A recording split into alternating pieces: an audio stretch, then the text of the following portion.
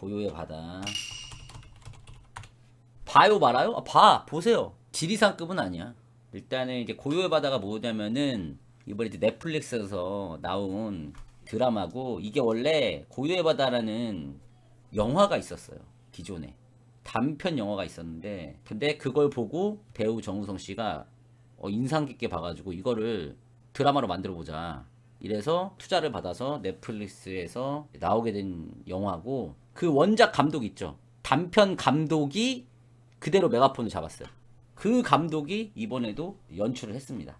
최양용이라는 감독님이 이번 드라마 연출을 했고 개인적으로 좀 기대하고 있었던 작품이었습니다. 왜냐면은 이제 예고편도 잘 빠졌고 요즘에 워낙 넷플릭스에서 한국 콘텐츠가 핫하다 보니까 배우진도 이제 공개가 됐을 때 좋았죠. 뭐 배두나 씨랑 공유 씨 나오고 그 다음에 이준 씨 나오고 김선영 씨 뭐 등등 해가지고 배우진도 나쁘지 않고 해서 봤는데 내용을 좀 설명을 해드릴게요. 이 영화가 뭐냐면은 먼 미래의 이야기입니다.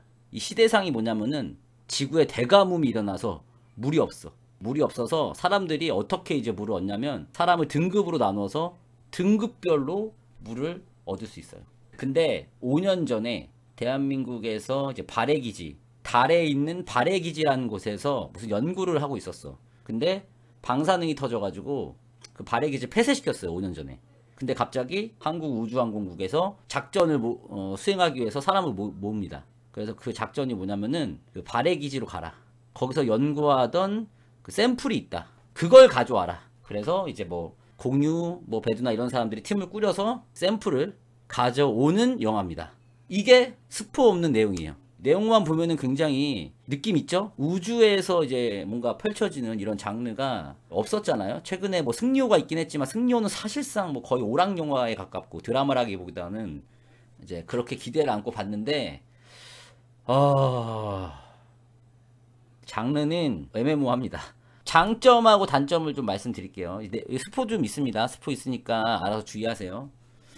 장점은 분위기는 괜찮은 것 같아요. 분위기는 잘 만든 것 같아. 이질감이 없어. 뭐 CG가 좀 어색한 건 있거든. 그러니까 CG가 어색하다기보다 내가 보기엔 그것도 너무 잣대를 너무 심각하게 들이댄 것 같은데 나는 개인적으로 CG도 되게 굉장히 만족스러웠어요. 오히려 오 이 정도 CG를 만들어 우리나라에서 저는 오히려 괜찮았어요. 그 달 착륙했을 때 그 분위기도 그렇고 CG? 나 심각한 거 뭐 별로 없었는데요. 저는 저는 CG 심각한 거 호랑이 빼곤 없었어요. 지리산급 CG가 아닌 이상 특별히 저는 몰입된다는 느낌을 전혀 못 받았고 그러니까 CG로 국한되게 말하지 않을게. 세트 분위기라든지 그 발해 기지의 분위기라든지 그 우주 공간의 분위기가 굉장히 이질감 없이 잘 드러난 것 같다. 그리고 소재가 신선해요. 소재 자체가 조금 새롭긴 합니다. 우리나라에서 어, 이런 소재를?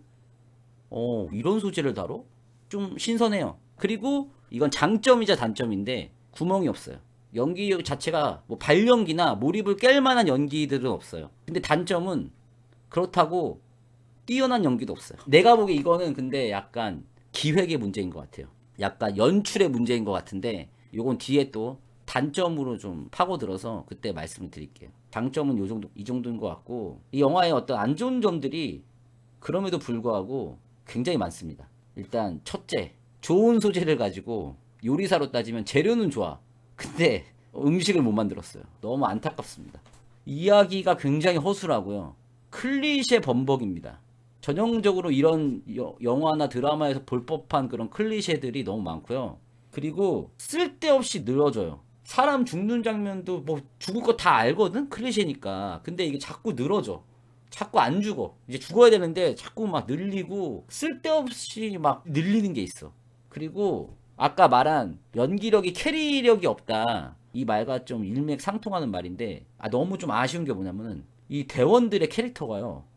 안 살아요. 심지어 공유 배두나의 캐릭터도 안 살아. 좀 이렇게 우리가 마음 줄 곳이 없어요. 보는 사람들 입장에서 이게 무슨 느낌이냐면 공유 배두나 그다음 의사 선생님 있고 대원 1, 대원 2, 대원 3, 대원 4, 대원 5, 빌런 1, 2뭐 이런 느낌이에요. 배역들의 캐릭터를 너무 못 살렸어. 그리고 그 우주 항공국 있죠. 한국 우주 항공국에 최국장님이 있고요. 그 다음에 이제 허성태가 하는 그 과장님이 있어요. 내가 보기엔 굉장히 중요한 역할이거든, 이 둘이. 그 둘이 뭐가 있을 것 같은데 그냥 아무것도 없어요. 사실 아무것도 아니었어요. 난 이게 너무 어이가 없어요. 뭐지? 얘네 둘을 좀 더 살릴 수 있을 것 같은데? 그러니까 다 이런 식이야. 캐릭터가 너무 이야기만 쫓아가다 보니까 캐릭터가 안 살아 캐릭터가 배역이 안 살아 마음 줄 곳이 없어 어디 몰입할 곳이 없어. 캐릭터를 너무 못 살렸어. 그리고 결말이 충격적이에요. 먼 미래 세계라고 라는 것까지 감안을 해도 선 넘네? 아, 선 넘네? 씨 이렇게 느껴질 정도고. 그리고 공유의 선택도 너무 클리셰예요. 공유의 그 마지막 선택은요 저는 속으로 그랬어요. 제발. 그러 제발 그러지 마. 제발 그 선택하지 마. 너무 아니 개연성 문제가 아니라 그 설정 상황이 진짜 전형적인 어떤 그 휴먼 드라마에서나 본 듯한 그런 자기 희생을 통한 어떤 인류 구애 뭐 이런 정말 뻔하디 뻔한 정말 뻔하디 뻔한 설정이 나와버렸어. 심지어 그게 더 클리셰처럼 느껴지는 이유가 뭔지 아세요? 공유가 이런 역할을 부산행 때 또 했었잖아. 이런 결말을 짓는 선택들을 했었어. 그러니까 이게 더 그런 거야. 그리고 중간중간에 좀 의아한 아, 왜 저래라는 것들도 있고 사실 배두나도 사실 어떻게 보면 약간 진짜 현실에 그런 캐릭터 있으면 좀 같이 다니기 싫은 캐릭터잖아요. 자기 멋대로 하는. 게다가 중간에 빌런들도 너무 질질 끌고 특히나 저는 어디가 그 제일 질질 끄는 데에서 좀 빠개 쳤냐면은 그 이준 씨가 맡은 역할 있죠. 최대위? 그게 빌런으로 밝혀지고 나서 공유랑 1대1 하다가 월수 물을 맞잖아. 이준이 물을 온몸으로 받아요. 근데 걘 되, 되게 오래 살아. 원래 월수 조금만 맞으면 바로 토하면서 죽어야 되거든? 걔는 뭐 몇십 분을 살아. 아까 나 여기 이 드라마의 월수가 가지, 가지는 의미나 역할이 있잖아. 그리고 다 앞에서 깔아놨잖아. 이거 맞으면 빨리빨리 그냥 토하고 죽는 걸로. 근데 왜 걔만 마지막 그 감정신을 위해서 남겨두냐고. 자기가 군인이어가지고 폐쇄될 때 자기가 그 자리에 있었다는 그걸 보여주기 위해서 그걸 계속 살려도 원래 그거 한 방울만 눈에 들어가도 죽거든 그냥. 근데 온몸으로 받았는데 무슨 몇십 분을 살아요. 그러니까 이런 것들이 좀 허술하고 약간 드라마를 위해서 포기하기에는 너무 몰입을 깨는 부분이 있다. 그런 부분이 너무 아쉽다. 그런 생각이 들고 그러니까 소재 자체는 나는 굉장히 신선했거든. 그러니까 이 내용이 뭐냐면은 아까 제가 줄거리 좀 말씀드렸지만 샘플을 찾으러 갔더니 알고 보니까 배두나 언니가 그 5년 전에 그 연구를 하던 연구원이었거든. 근데 5년 전에 거기가 폐쇄되어서 죽었어. 발해기지 폐쇄한 이유가 뭐였냐면은 방사능이 노출돼서 다 죽었다. 이걸로 발표를 했어. 근데 갔더니 방사능 반응도 없고 사람이 다 무슨 익사해서 죽은 것처럼 죽은 거야. 그래서 샘플을 가지러 갔잖아. 봤더니 물인 거야, 물. 그냥 물. 알고 보니까 그 물이 뭐냐면은 달에 있는 물이야. 월수, 월수. 근데 이 달의 물의 특징이 뭐냐면은 무한 증식을 해요. 그래서 사람 몸이 딱 닿으면 물이 계속 증식해. 죽을 때까지. 그러니까 이게 뭐야? 지금 지구는 물 부족이지. 근데 이걸 잘 연구하면 무한의 물을 가질 수 있으니까 대단한 기술이다. 이렇게 된 거야. 근데 굉장히 위험하지. 그래서 막 이제 그 비밀을 풀어. 근데 이제 그 언니가 무슨 암호를 남겼어. 누나를 찾아라 이거야. 그래서 누나가 뭔지 막 찾거든? 샘플을 이제 가져가려고 찾았어. 찾아서 가져가려고 하는데 자꾸 어떤 괴물이 와서 사람 죽이면서까지 그 샘플을 훔쳐가. 샘플에 집착을 해 되게. 그래서 막 의심을 해. 어 뭐지 괴물이 왜 살아있어? 어 혹시 여기 생존자 아닐까? 알고 보니까 어린 여자인 거야. 걔랑 막 어떻게 커뮤니케이션을 막 시도해. 그러다가 언니의 연구를 찾게 되고 비밀이 밝혀져. 이 연구가 5년 전에 폐쇄했던 그 연구가 뭐였냐면 이 연구소는 사실 후속 주자로 이제 대한민국에 들어갔다가 그 월수를 대한민국만 발견한 거야. 그럼 이 월수를 통제할 수 있는 방법을 찾자. 이걸 연구하던 데였는데 그 연구 방식이 뭐냐면은 인체 실험을 한 거야. 사람 살아있는 사람한테 인체 실험을 한 거야. 근데 그 인체 실험을 복제 인간으로 한 거야. 똑같은 여자애로 계속. 그러니까 루나 1번, 루나 2번, 루나 3번. 그래서 나중에 이제 공유랑 뭘 찾게 되냐면은 지하에 그 시체들이 이렇게 달, 매달려 있는 그 연구실을 찾아요. 그러다가 그 살아있는 그 괴물이 누구냐면은 거기에 적용이 된 루나 67번인 거야. 루나. 걔가 이제 살아있는 거야. 그래서 걔와 월수를 가지고 지구로 돌아가서 이거 실험을 해서 이제 인류의 미래를 밝게 하자. 뭐 이런 내용입니다. 그리고 아까 말씀드린 대로 우리나라 그 우주항공국 최국장하고 그 과장님 있죠. 뭔가 다 막 의미심장한 멘트들을 하면서 뭔가 있는 것처럼 막 얘기를 한단 말이야. 근데 결말은 아무것도 없어. 그냥 아무것도 없는 애들이야. 막 그런 식이야. 그리고 중간에 RX라는 게 있어요. 자원 마피아, 자원 마피아. 이거를 얘네한테 빼돌리는 역할인 거야. 근데 여러분들 웃긴 게 뭔지 아세요? 얘는 RX가 한 번도 안 나와요. 그냥 말로 나와. RX 가고 있다. 대기 중. 뭐 이런 식이야. 그리고 캐릭터도 김선영 배우가 연기한 그 홍닥터 있죠. 처음에 만나는 씬에서 막 배두나랑 말 주고받으면서 뭔가 톡톡 튀는 캐릭터인 것처럼 설정을 해놔요. 근데 막상 우주 로 가면 끝날 때까지 그냥 의사예요.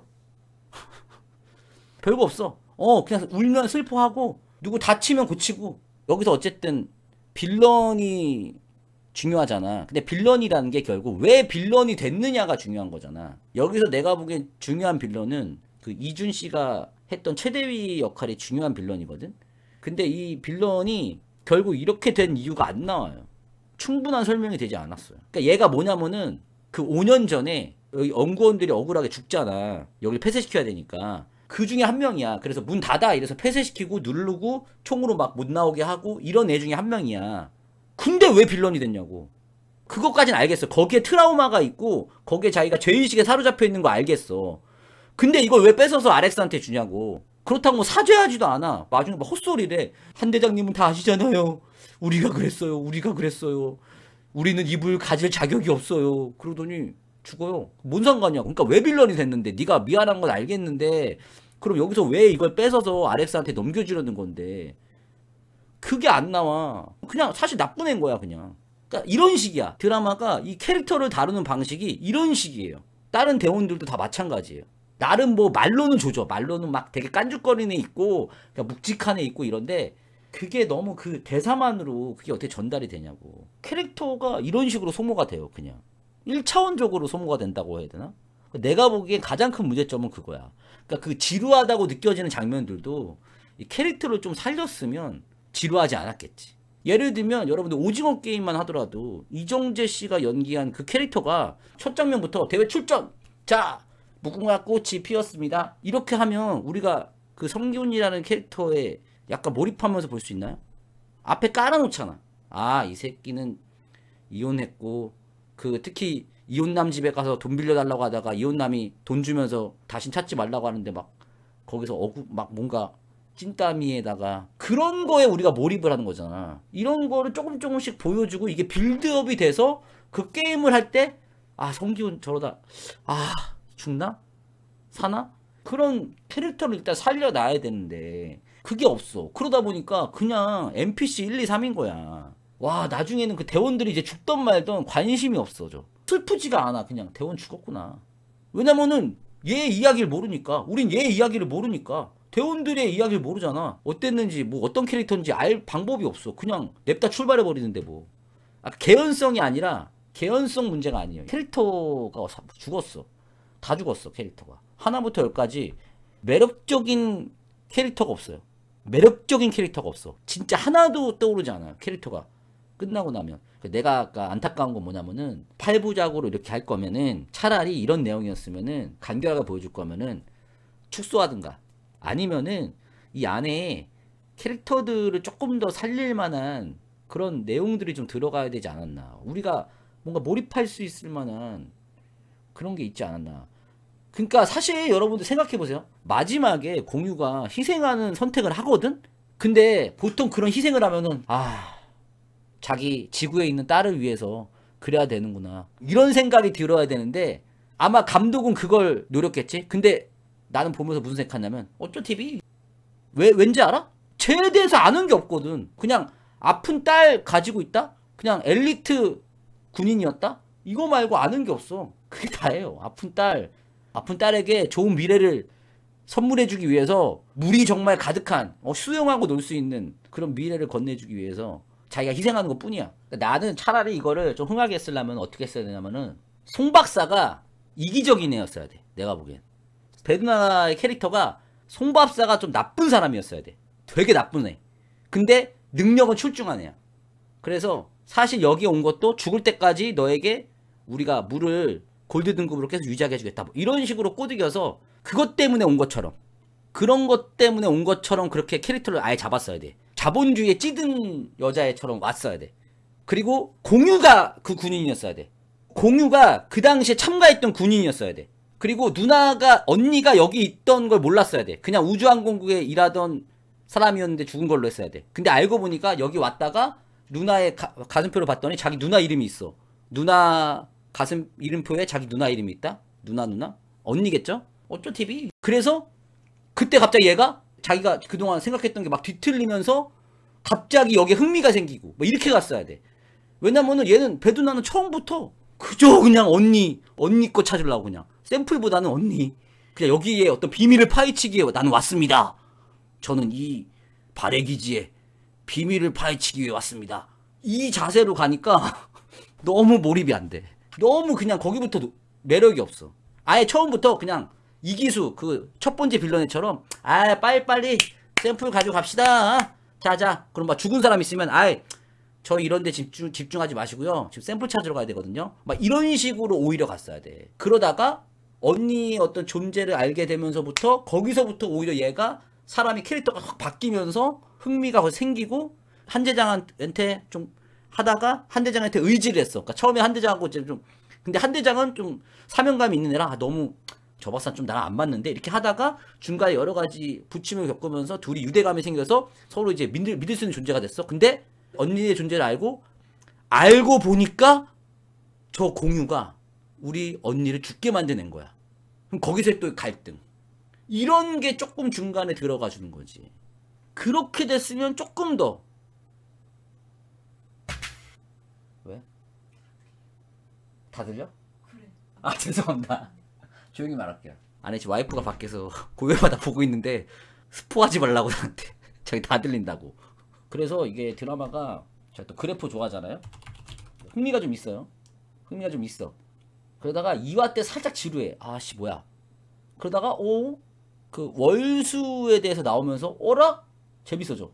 그러다가 또 지루해지려고 하는데 갑자기 누나가 발견돼서 어라 재밌어지려고 하다가 지루해 지루해 아 지루해 아 지루해 아 지루해 어 지루해 어 지루해 결말은 거의 클리셰 소재는 신선 연출은 진부.